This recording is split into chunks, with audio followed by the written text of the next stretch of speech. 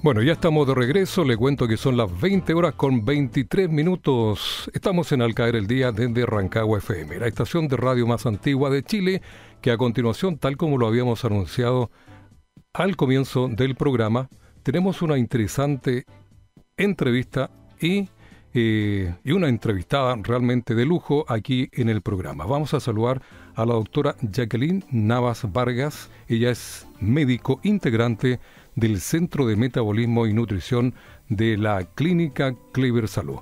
Hoy eh, vamos a hablar de un tema muy importante sobre la obesidad en la adolescencia. Saludamos a la doctora. ¿Cómo le va, doctora? Gusto de saludarla. Muchas gracias por estar en el programa. Buenas noches. No, gracias a usted por la invitación. Bueno, yo le decía, doctora Navas, eh, que el tema a conversar hoy día es de real importancia porque vamos a hablar de la obesidad en los niños y adolescentes. Algo que en Chile, sobre todo, eh, ha transformado cifras realmente muy, pero muy preocupantes. Muchos dicen que podríamos estar en presencia de una epidemia silenciosa. Eh, bueno, por eso que usted es la voz autorizada para que nos comente esta situación y para empezar le podríamos preguntar cómo se define y diagnostica la obesidad, sobre todo en los pequeños, en los niños y los adolescentes. Eh, la obesidad está definida eh, tanto en adolescentes, en población infanto-juvenil, como en adultos con la misma definición, que tiene que ver con que esta es una enfermedad crónica, recidivante, inflamatoria de múltiples causas debido a una acumulación excesiva de tejido adiposo. Si nosotros desglosáramos esta definición, eh, es algo que yo le explico mucho a los pacientes. Eh, esta enfermedad, al ser una enfermedad crónica, eh, significa de que va a tener controles médicos y nutricionales para toda la vida, independiente si llegan a lograr una salud metabólica o no.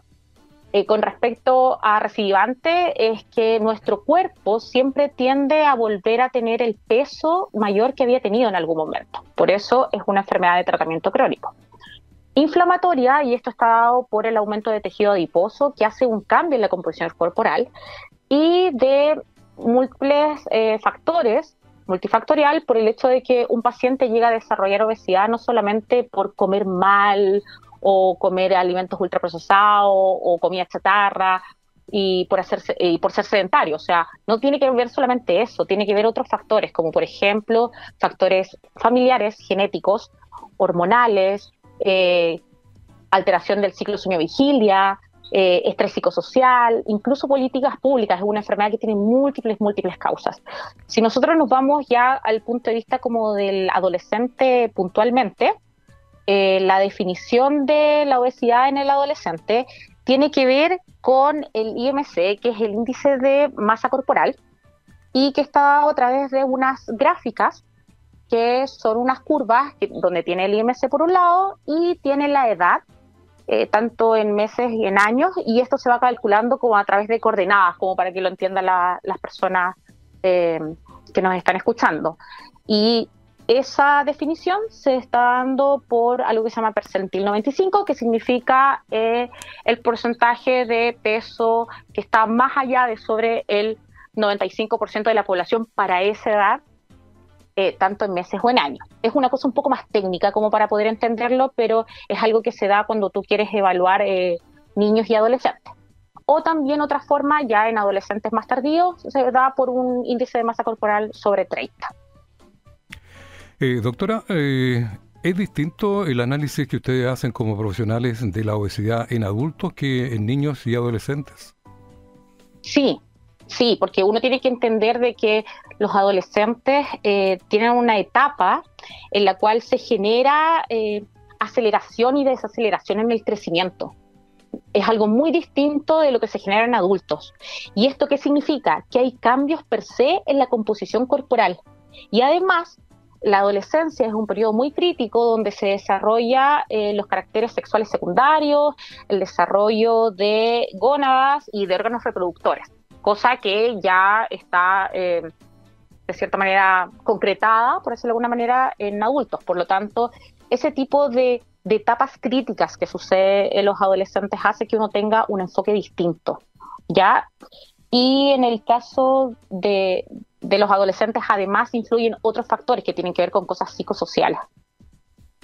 Perfecto. Eh, bueno, para la gente que recién se integra al programa, estamos conversando con la doctora Jacqueline Navas, que es eh, una destacada médico del Centro de Metabolismo y Nutrición de la Clínica Clever Salud, que está ubicada ahí en Cáceres 630, muy central aquí en Rancagua. Doctora, a ver si nos puede decir, ya que estamos hablando de esto de la obesidad en los adolescentes, ¿cuáles serían, eh, así si usted puede resumir, las principales causas ya.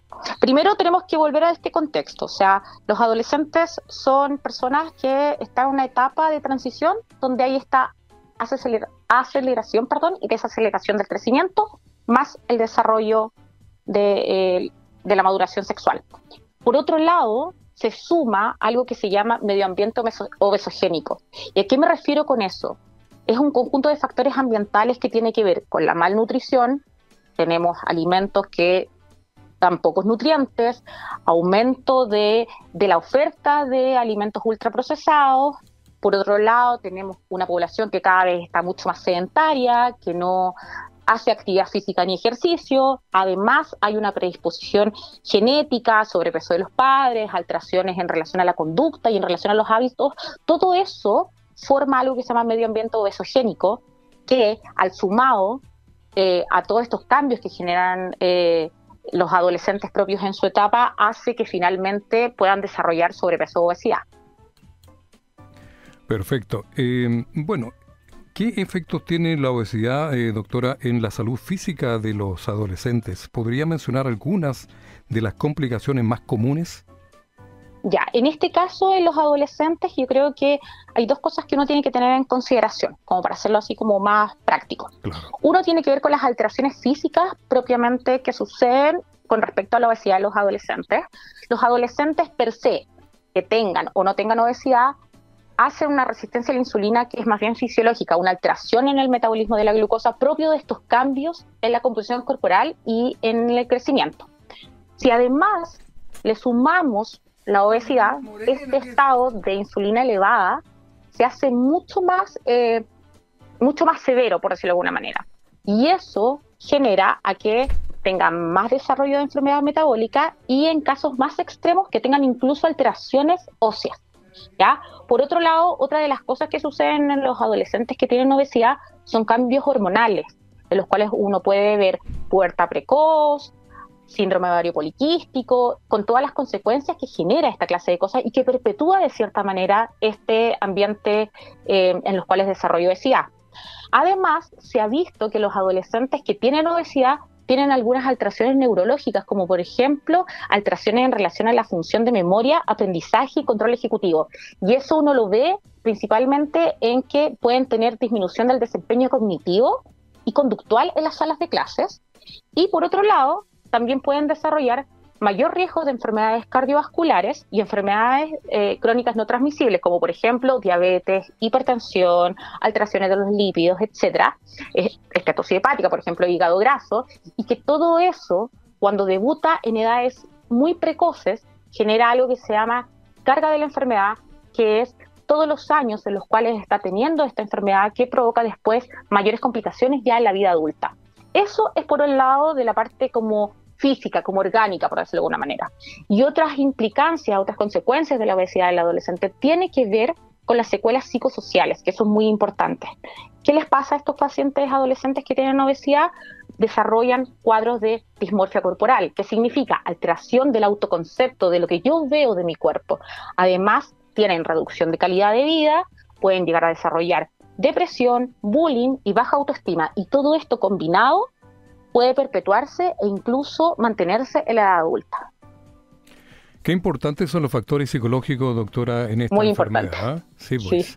muy, muy importante. Eso a un joven le puede marcar por toda la vida. Totalmente de acuerdo. Y en eso, es algo que uno tiene que tener en consideración. Claro, en, eso, doctora Navas, eh, es muy importante la participación familiar, ¿cierto?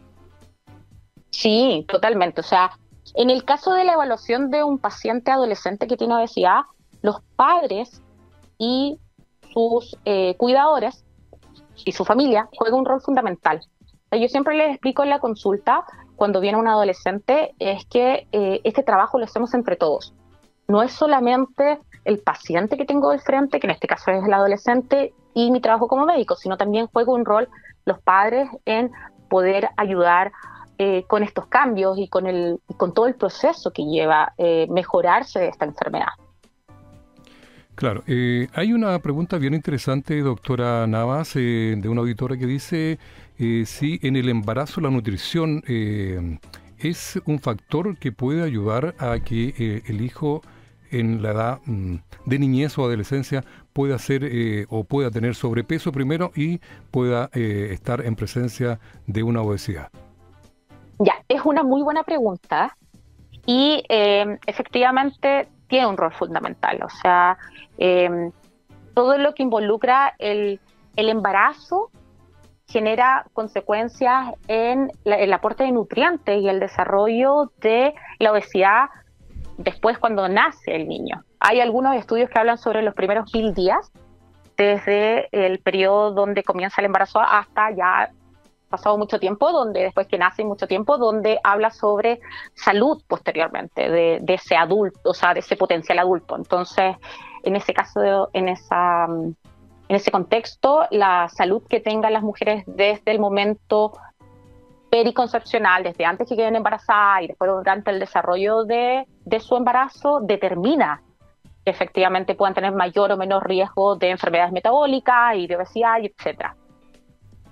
Claro, eh, doctora, también ahí eh, la madre que está en sobrepeso eh, en el embarazo, ¿eso es determinante también? Sí, totalmente. O sea, se ha visto que aquellas madres que tienen sobrepeso tienen mucho mayor riesgo a poder generar obesidad dentro del embarazo y consecuentemente generar algunas enfermedades como por ejemplo diabetes gestacional y que eso también provoque macrosomía, que son estos estas guaguitas que son muy, muy, muy grandes y eso eh, determina mayor riesgo de obesidad y mayor riesgo de enfermedades como eh, resistencia a la insulina y diabetes en el, en el feto y que se está desarrollando y que después va a ser una guaguita. Eh, en este tema de la genética, doctora, aquí también hay otra pregunta bien interesante. ¿Cómo influye la genética en, en un niño, en un adolescente? Bueno, en general, el factor genético en la obesidad influye no solamente en la población infanto-juvenil, sino también influye, nos influye a todos. O sea, el aumento de riesgo de tener obesidad en una persona eh, se incrementa si uno de los padres tuvo obesidad y en el caso de que los dos padres hayan tenido obesidad, eso es bastante eh, elevado y aporta junto con los otros factores que tienen que ver con los factores ambientales, hormonales, etcétera pero sí, juega, juega un aporte, o sea, juega un papel no menor en esto. Efectivamente. Eh, bueno, estamos conversando con la doctora Jacqueline Navas eh, del Centro de Metabolismo de Nutrición de la Clínica Clever Salud. Eh, este tema es muy interesante, doctora. Siempre que hablamos eh, de la juventud, de los niños y sobre todo estas enfermedades que son realmente lapidarias en algunos casos. Pero eh, podría decirnos, eh, ya entrando a las estrategias de prevención, ¿usted ¿qué, recomienda para evitar la obesidad en los adolescentes? dentro de, las estrategias de tratamiento, ¿quieres saber, o, de prevención? De, de prevención, más que nada. Bueno, en el caso de prevención, yo creo que primero vayámonos a los datos. O sea, hoy en día tenemos datos que son mm, más bien alarmantes, por decirlo de alguna manera, datos locales. Eh, se vio que eh, la encuesta nacional de salud del año 2016-2017, em, que evaluaba a todas las personas, no solamente niños y adolescentes, eh, se dieron cuenta que casi el 75% de la población tenía sobrepeso, obesidad u obesidad mórbida. ¿ya? Estamos así en práctico, siete u ocho de cada diez chilenos tenían sobrepeso, obesidad o obesidad mórbida. Si nos vamos solamente a la parte de obesidad, eh, el 30, casi el 35% tenía obesidad u obesidad mórbida, o sea, 3 a 4 de cada 10 tenía eso. Entonces, si nosotros observamos, es una cifra muy, muy alarmante.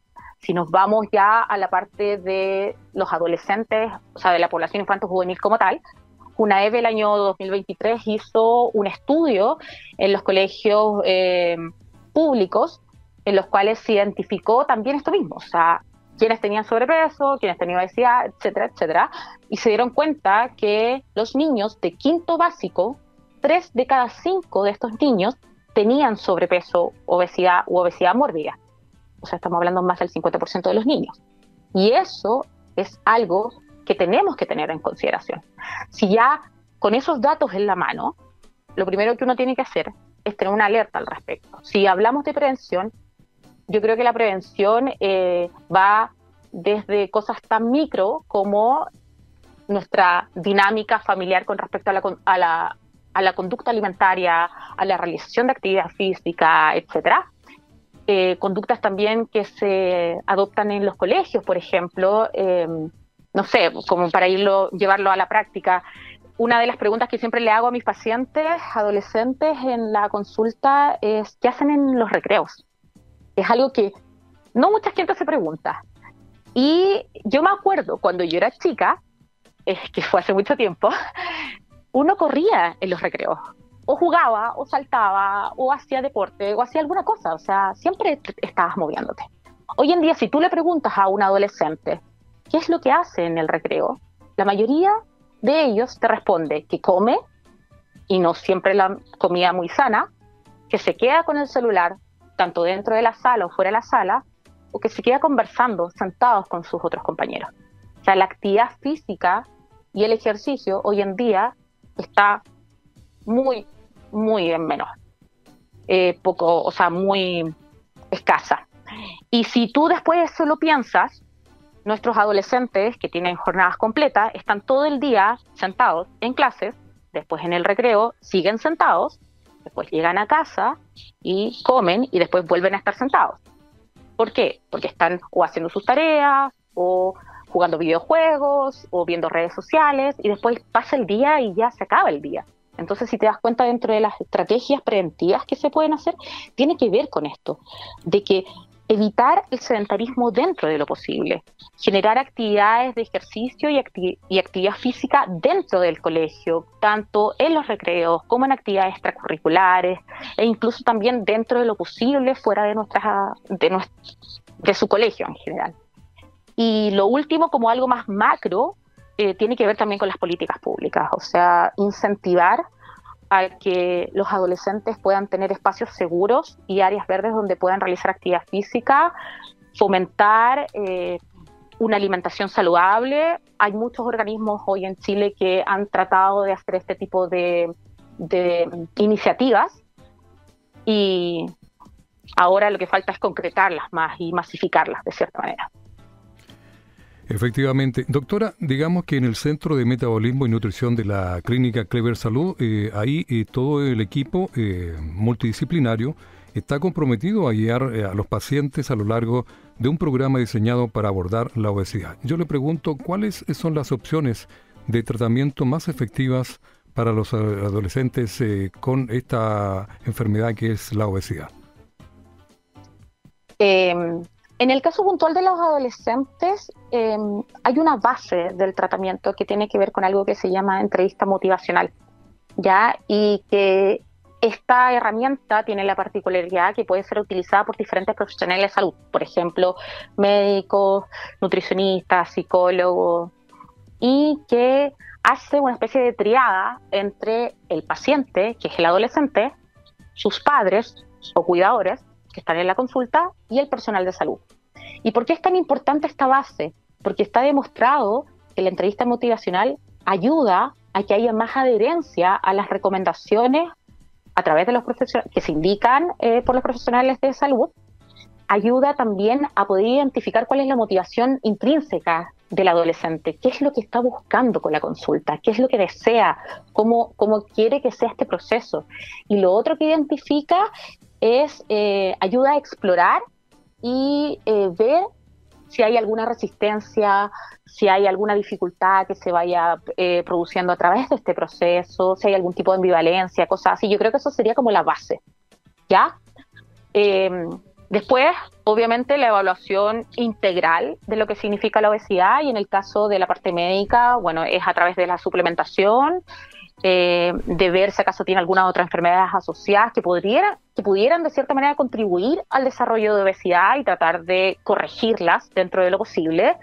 Y finalmente, dentro de la parte médica, eh, tiene que ver todo lo, del manejo farmacológico. O sea, en ese sentido, em, el año pasado la Sociedad Americana de Pediatría hizo una revisión de cuáles eran los fármacos que hoy en día se pueden utilizar en adolescentes. Afortunadamente, cada vez hay más arsenal de, fármacos que tú puedes, de forma segura y con, em, con peso de evidencia, poder indicarlos. Y algunos que tienen que ver eh, básicamente con fármacos antiobesidad como tal, y otros fármacos que si bien no tienen esa primera indicación, ayudan indirectamente a que tú puedas tratar esta enfermedad. Eso sería así como del punto de vista médico. Del punto de vista nutricional, tiene que ver con la adherencia a tener una alimentación lo más saludable, rica, variada, sin dieta. Eso yo siempre digo a los pacientes, no hay dieta, sino es comer real, comer sano, eh, poder ordenar los horarios, etcétera. Y bueno, y la parte psicológica em, que se aborda en el centro tiene que ver más bien con el, con la conducta, con la conducta alimentaria, con cómo se sienten los adolescentes en su periodo de desarrollo y cómo son también las dinámicas, no solamente con su familia, sino también con sus pares. Bueno, estamos con la doctora Navas eh, hablando de un tema realmente importante como es eh, la obesidad en los adolescentes. Aquí hay una pregunta para usted, doctora. Dice, usted habló de el índice de masa corporal que siendo elevado eh, puede diagnosticar la obesidad. ¿Qué otros síntomas determinan esta enfermedad? bueno, la, la obesidad actualmente está definida como una alteración en la composición corporal, o sea, el exceso de tejido adiposo que tengan los pacientes. Ya el IMC es un parámetro que eh, se utiliza para poder hacer este diagnóstico, pero tiene que ver más bien con cuánto tejido muscular tengo, cuánto tejido adiposo tengo y cómo este va interactuando también. Eso sería como el, el principal enfoque en el cual yo puedo hacer el diagnóstico de obesidad. Las otras cosas que tienen que ver con enfermedades asociadas son las que contribuyen a que este paciente desarrolle esta enfermedad y perpetúe esta enfermedad. Y pueden ser tanto como enfermedades que se asocian o como enfermedades producidas por esta enfermedad. Hay otra pregunta para usted, doctora, respecto a las cirugías. Aquí dice una mamá, eh, la última opción sería una cirugía bariátrica para un joven que está con obesidad mórbida. Efectivamente, la cirugía bariátrica en adolescentes es algo que si bien eh, ha sido reciente en comparación a, a, su símil en adultos, es algo que hoy en día sí está estudiado y sí está respaldado por algunas organizaciones y básicamente se reserva para aquellos pacientes que tienen muchas enfermedades asociadas con un difícil control, además de tener eh, obesidad severa y también se utiliza eh, en aquellos pacientes que hayan tenido fracaso a los tratamientos médicos, em, serían las indicaciones. Pero esto siempre, siempre va acompañado de cambio de estilo de vida. O sea, pensar de que la cirugía bariátrica va a solucionar esta enfermedad em, personalmente lo encuentro un poco iluso porque de cierta manera esta es una enfermedad que por definición es recidivante, o sea, vuelve, si es que no logras hacer el cambio de estilo de vida. Entonces, sí, es una opción terapéutica, es una opción de tratamiento, pero no es una opción que nunca está considerada como una opción de primera línea, salvo en casos muy excepcionales. Claro, eh, doctor, respecto a lo mismo, eh, aquí había otra pregunta. Si decía esta auditora, al someterme a una cirugía bariátrica o someter a, mi hijo a una cirugía bariátrica, ¿él podrá comer lo que quiera sin miedo a engordar? Eh, lo primero que yo le diría es que no hay que tener miedo a engordar. No hay que comer con miedo yo creo que es una de las primeras cosas que uno tiene que tener eh, en consideración. Los alimentos cumplen roles de nutrición, de, ayudar a que nosotros nos, mantengamos lo más saludable. La, la gracia, por decirlo de alguna manera, es poder saber elegir aquellos alimentos, la mayoría del tiempo, que nos ayudan y que nos aportan nutricionalmente. Y en el caso de la cirugía bariátrica, eh, bueno, en, puntualmente en los adolescentes hay que tener eh, un enfoque muy particular porque como es un paciente que está en desarrollo con una labilidad psicosocial más elevada, uno tiene que tener toda la, parte em, de la esfera psicológica lo más regulada posible, porque se ven con muchos cambios físicos, sobre todo inicialmente en los primeros meses de cirugía bariátrica. Pero por eso es muy importante el, apoyo multidisciplinario, o sea, que ahí el psicólogo ayude a que el paciente después no desarrolle, y no solamente adolescentes, sino también adultos, que no desarrollen miedo a querer comer, porque eso puede generar en últimas instancias a trastornos de ingesta alimentaria. Efectivamente, eh, conversamos con la doctora Jacqueline Navas eh, sobre este tema realmente importantísimo, la obesidad en los adolescentes. Eh, aquí hay otra pregunta con, como un comentario que me hace un auditor. Dice, los factores como apoyo familiar, dice, la actividad física y los patrones de sueño juega un papel crucial en el éxito de los tratamientos según, dice lo que le indicaron a su hijo. Sí, estoy totalmente de acuerdo con ella. Efectivamente, o sea, el, el, dormir, por ejemplo, el, dormir bien. Eso le iba a decir, doctora, eso, eh, el patrón de sueño es fundamental. ¿ah? Sí, sí, sí. Si gusta podemos hablar eso en otra oportunidad porque es un tema muy interesante, es un tema que de cierta manera todos tenemos eh, como una idea preconcebida, pero llevarlo a la práctica y poder mantenerlo en el tiempo eh, requiere otro tipo de recursos entonces y otro tipo de habilidades que se van desarrollando. Entonces, muchas veces eh, privilegiamos otro tipo de cosas en perjuicio del dormir bien, como por ejemplo tiempos de pantalla, trabajar más, por ejemplo, hacer otro tipo de actividades. Entonces, esa clase de cosas son temas muy importantes y que tú al tratar de mejorar eso no solamente mejoras eh, la calidad de vida, sino también disminuyes el riesgo de tener algunas enfermedades metabólicas y cardiovasculares. Claro, y otra, otra pregunta, más bien también eh, son comentarios que hacen los auditores. Dice que las dietas y los ejercicios adaptados al metabolismo de los adolescentes, a ver si usted los puede, eh, ¿a qué se refiere, dice, de los metabolismos de los adolescentes muy importantes? Ahí no, no le entiendo. Dice si las dietas y los ejercicios adaptados al metabolismo eh, son importantes en, en, esta enfermedad en los adolescentes. O sea, yo siempre le digo a los pacientes, lo primero que yo sacaría es esa palabra dieta. Cuando uno habla de dieta, suena como algo muy restrictivo, como a sufrimiento. Yo siempre le digo eso, suena como atroz, así como uno se imagina cosas que son muy, muy restrictivas. Más que una dieta, estamos hablando de, de pautas alimentarias, de, que puedes comer eh, cosas eh, que sean muy variadas, muy reales eh, y que no necesariamente tienen que ser malas, en general son bastante ricas. Entonces hablamos como de, de estilos de alimentación, más que una dieta como tal.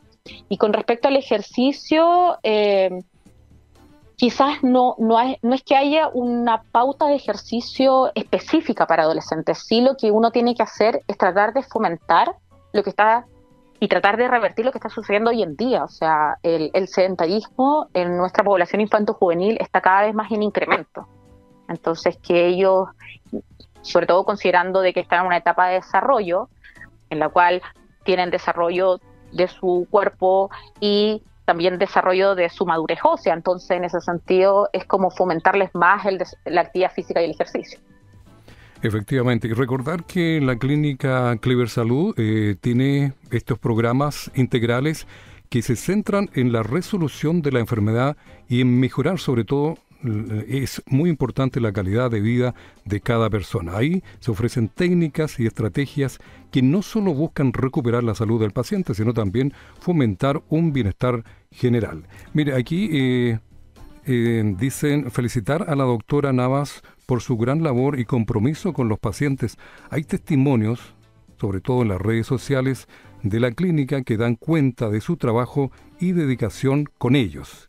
¿Qué le parece? Ay, muchas gracias. Una excelente comentarios que nos hacen respecto a nuestra invitada esta noche. Eh, y finalmente, mire, se nos va eh, el tiempo, doctora Nava. Pasó muy rápido, sí. este tema es muy interesante. Hay muchas preguntas. Eh, a ver si aquí hay una auditora dice, ¿cómo conduce la obesidad a la resistencia a la insulina? A ver si le puede responder eso. en términos más o menos bien simples y bien rápido, dado el tiempo. Eh, tiene que ver de que la resistencia a la insulina, que esto de, de que la insulina, que es una hormona que nosotros tenemos en nuestro cuerpo, no es capaz de eh, poder actuar sobre la cantidad de glucosa que, que proviene de todos los alimentos. Esta glucosa que queda el primer, la primera etapa es un estado de hiperglicemia, significa que tengo muchas moléculas de glucosa porque estoy entregando todo el tiempo a nuestro cuerpo y como la insulina no es capaz de poder llevarla a las diferentes partes, principalmente hígado y músculo, lo que hace es que se empieza a almacenar y se almacena principalmente como triglicéridos y ácidos grasos libres y el primer lugar donde va es al hígado. Entonces yo mientras más aporte de moléculas de glucosa tengo, sobrepaso todo este stock, stock donde puedo guardar, por ejemplo, el glucógeno, y se empieza a guardar como esto. Entonces empieza a tener esta cosa como de tejido adiposo. ¿Qué sucede en el caso de la obesidad? Como tengo una sobrecarga de tejido adiposo, esto hace de que se perpetúe este estado de resistencia a la insulina. Siempre todo es como muy eh, interconectado, o sea, no es algo que sea como solamente aislado. Entonces, por eso cuando los pacientes tienen disminución, de, peso, hablemos de peso en esta ocasión, pero de mejora de su composición corporal, efectivamente la insulina que está en este estado como de bloqueo, por decirlo de alguna manera, eh, empieza a, despertar, por decirlo de alguna manera, empieza a funcionar mejor y, y, todo eso como que va de la mano y se empieza a mejorar todo. Por eso es muy importante eh, pensar eh, en nuestro cuerpo como un todo, no solamente como cosas aisladas. Claro. Efectivamente. Ahí lo expliqué muy, muy en simple. Sí, sí, sí, Por el tiempo. Y, por el tiempo también, a ver si en, minutitos nos dice los últimos consejos eh, que le daría sobre todo a los oyentes adolescentes o bien, por supuesto, a los padres que están preocupados por la obesidad de sus hijos. Em, un consejo que le daría a los adolescentes que, están escuchando el día de hoy, eh, lo primero que les diría es que no sientan culpa por tener esta enfermedad y que no tengan miedo de pedir ayuda. Esto es una enfermedad. Esto no tiene que ver con voluntades, no tiene que ver con, con culpa de que ellos lo hagan mal. Simplemente hoy en día los factores externos contribuyen mucho al, desarrollo de la enfermedad, independiente de, de, los factores internos de lo que hemos hablado anteriormente. Entonces, básicamente les diría eso y les, les también los invitaría a que consulten, pues ojalá en nuestro centro sería maravilloso, claro, pero, por supuesto. obvio, pero que consulten a profesionales de la salud, porque esto es una enfermedad y hay que tratarlo como tal, hay que tener esta altura de mira. Y sobre todo, doctora Navas, eh, la buena comunicación con los padres, ¿ah? Totalmente. Y así poder también tener una resolución respecto a esta, a esta enfermedad. y, y, claro, sí, diga. Y a los padres, disculpa, a los padres les diría que em, yo sé lo complejo que es hoy en día tratar de abarcar muchos roles. Y hoy en día con todo lo que hay que trabajar y todas las cosas que suceden, muchas veces los padres em, tienen poco tiempo de interactuar con los hijos. Entonces, en ese sentido, eh, ese poco tiempo transformarlo en un tiempo de calidad, de empatía, de fortalecer las relaciones de familia eh, interpersonales y que eso ayuda a que el adolescente sienta ese espacio de confianza para poder manifestar sus necesidades y em, también poder ayudar al tratamiento de sus diferentes enfermedades, de las cosas que ellos sienten, etcétera. O sea, nosotros en el centro tratamos de, de manejar mucho ese enfoque el enfoque centrado en el adolescente, que sienta que es un espacio de confianza, que siente que es un espacio de seguridad en el cual esta enfermedad se trata de, mm, tratar en todo este proceso. Bueno, y recordar que si quiere ubicar a la doctora Jacqueline Navas, eh, ahí está en Cáceres 630, en el Centro de Metabolismo y Nutrición, que está en el piso número 9 de esta moderna, moderna eh, clínica que es la Clínica Clever Salud. Bueno, doctora. Como usted bien lo dijo, se pasó rápido el tiempo. Eh, a ver si en otra en otro programa, como usted también lo señaló, podemos seguir ahondando mayores detalles de algunos puntos que hay que conversarlo. ¿ah? Así que sí, no, yo encantada. Quería pedirte un par de segundos porque quiero aprovechar esta instancia para agradecerles a todos nuestros pacientes del centro por su compromiso, por eh, que son super mateos y que están muy comprometidos y, son muy proactivos. Entonces, quiero agradecerles eh, por sus preguntas, por su constancia, por todo lo que están haciendo. Y, que también eso a nosotros nos da mucha gratificación. nos sentimos muy bien como equipo. Así que gracias. Y, eso, y, espero que podamos tener otra instancia en la cual podamos conversar otros temas. Así que muchas gracias por la invitación. Nosotros somos los agradecidos, le deseamos eh, que descanse eh, y la esperamos en un próximo programa, doctora Jacqueline Navas. Sí, ¿por qué no? Buenas noches. Buenas noches.